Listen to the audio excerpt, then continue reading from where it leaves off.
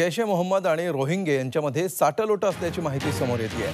Rohingya Muslim समाजात अतिरेकाची विषवल्ली जैश ए मोहम्मदकडून पसरवली जात असल्याची माहिती उघड झाली आहे. बीएसएफनं हा मोठा गौप्यस्फोट केला आहे पाकिस्तानात असलेला जैशचा कमांडर साबेर अहमद हा बांगलादेशातल्या कॉक्स बजार इथे रोहिंग्यांना प्रशिक्षण देऊन भारताविरोधात वापरत असल्याचा अहवाल बीएसएफनं दिला आहे सूत्रांच्या माहितीनुसार जैशचा बांगलादेशातला हँडलर मौलाना युनुस यानं चार रोहिंग्यांना दहशतवादी हल्ल्याचं प्रशिक्षण दिल्याचंही समोर आलं आहे बांगलादेशमधल्या हरिनमारा पर्वतरांगामध्ये हे प्रशिक्षण सुरू असल्याचं उघड झालं आहे बांगलादेशच्या कॉक्स बाजार परिसरात हजारो रोहिंगे शरणार्थी आहेत.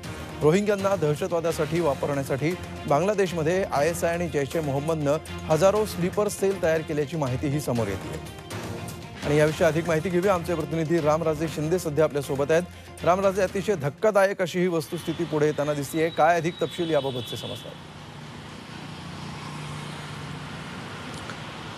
बिलकुल अमोल आणि याचं कारण हेच आहे. कारण का काश्मीरचा जो भाग आहे त्या भागाकडे नाकेबंदी भारताची चांगली आहे आणि त्याचबरोबर सीमेवर सुद्धा जवान मोठ्या प्रमाणावर तैनात करण्यात आलेला आहे. परंतु बांगलादेशकडला जो भाग आहे त्या भागामधून कुठे कुठून तरी भारतामध्ये घुसता येते का?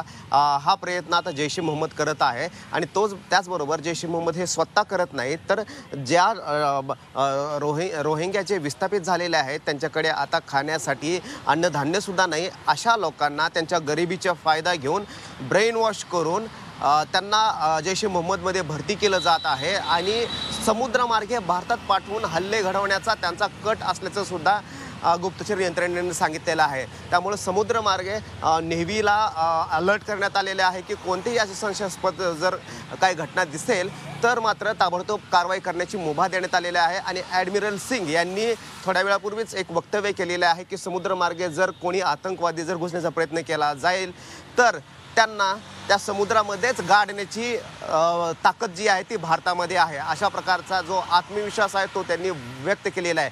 त्यामुळं जैश ए मोहम्मद जे आहे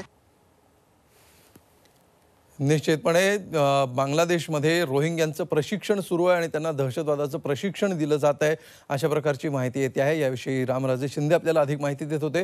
धन्यवाद रामराजे या माहितीबद्दल.